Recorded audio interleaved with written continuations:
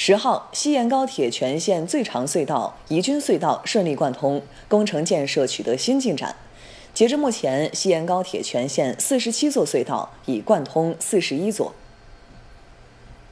西延高铁宜君隧道位于陕西省铜川市宜君县，全长十七点五公里，是西延高铁全线最长隧道，也是陕西境内最长的单洞双线高铁隧道。宜君隧道内地质环境复杂，施工难度大，风险高，施工团队积极开展技术攻关，搭建智能化管理系统。针对可能存在的塌方与大变形风险，采取超前地质预报、引排裂隙水、局部超前注浆等方式，确保施工质量安全可控。